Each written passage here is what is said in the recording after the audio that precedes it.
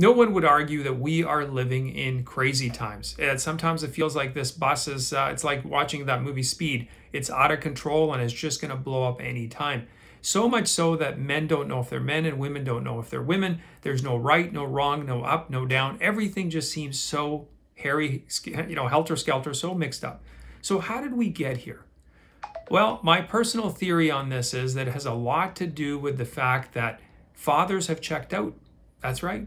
There's a lot of fathers who no longer participating in everyday life with their children. Now, don't get me wrong, they may still be there, like physically, but they're not there mentally, they're not there spiritually, they've checked out.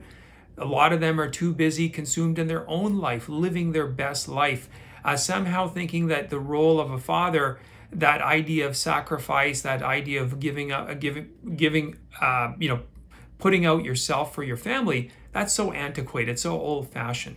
Now, what it really should be is you living the journey along with your kids, and it should be about your enjoyment and your pleasure. And really, you're more of an ally, more of a friend to your children, not a mentor, not a leader, not somebody who is the head of that household. Why? The role of a father is a tough role. It's not an easy job. The easiest part was donating sperm and you know having the child. That's the easy part. The hard part is raising them day after day, year after year. There's a lot of sacrifice involved. It is being selfless and not selfish. It is pouring into your children and coming alongside them in every moment, all difficult times. It's going to work at jobs you may not enjoy because you've got to put food on the table and you've got to make sacrifices.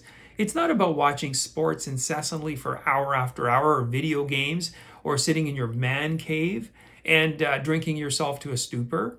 That's not what fatherhood is. And, it, you know, it, I look around at all the madness with all the trans movement and I say, where are the fathers? The mothers are out there protesting. There's, you know, uh, all of this other uh, aspects that they're taking on. They're standing up against what's going on, but the fathers are silent. Why? Have you been convinced that by you speaking up, it's toxic, it's that toxic masculinity? Hell no. You have a responsibility to protect your children. That's one of your key roles as a father. It's a protector. You've got to be an educator. You're going to pour into them values, morals, everything. But you're also going to show them leadership in the home. If they don't feel safe around you or that you've got their back and you're protecting them, they'll go find it elsewhere. They'll find it in another group, another uh, gang, association, whatever, whoever they want to come along and identify with, whatever movement or ideology that says, hey, we care about you more than your own father does, they're going to gravitate to that. That's our job, fathers. We have to be stepping up. We can't be absent. Now, maybe things didn't work out with your spouse, you're divorced, you're separated. That doesn't mean you step out of the lives of your children. Now, I deal in the finance industry. Many times I hear fathers lament about uh, child support. I said, Are you kidding me? They're your kids. You have to support them. What are you so bitter about? That's your job. Now, I get it. Your ex wife's a nightmare, whatever. Hey, that's fine. That's, that's between you and her. You still have a responsibility to these kids. They're yours. You chose to have them. And the fact that so many fathers are vacant is leading to all this problem because these kids are seeking that love, that affection, that attention, that direction from something. And they're filling it with all the insanity that the mad, mad world is offering. The, the people like we talked about before, the MAPS, minor attracted persons. You've got pedophiles, groomers, all these people who are vying for the attention of your children. If you don't give it to them, somebody else will, and the consequences will be tragic. So, fathers, step up. Turn off the TV, get off your phone, Spend some time with your kids. Uh, read, educate yourself on what's going on, the topics, the issues, so you can have those conversations. Don't be afraid of being the parent who's unpopular by having a stance that isn't is normal or is morally upright or correct. So, what if other parents are a bit offended by it? Who cares? You stand your ground. You stand and do what's right for your children, not right what's right for culture or what will make you look good among the other parents. It's what is going to be for the salvation of your children in the long run.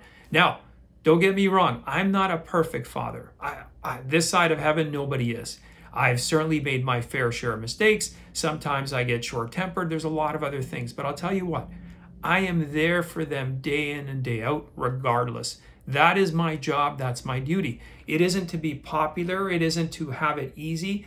It is to pour into them, which is my responsibility. And I challenge fathers out there who are not doing so if there's dysfunction, there's brokenness. Now, it's not going to solve everything you stepping in. There's no, it's not a Disney movie that in in 30 minutes everything's going to be perfect, but it's a start. Start stepping into the lives of your children. See what's going on. If you're if they're constantly on their phone, and chances are they're watching you be constantly on your phone. Put it away. Engage with your children. Have discussions. Get to know one another. Realize that your responsibility isn't just to rear them, it's to raise them, to love them, to educate them, to pour into them, and above all, sacrifice your own needs for them. Anyway, thanks for watching. I do appreciate it. Please post any comments you have in the comment section. You can also follow me on my Rumble and my Locals account, and I will see you next time.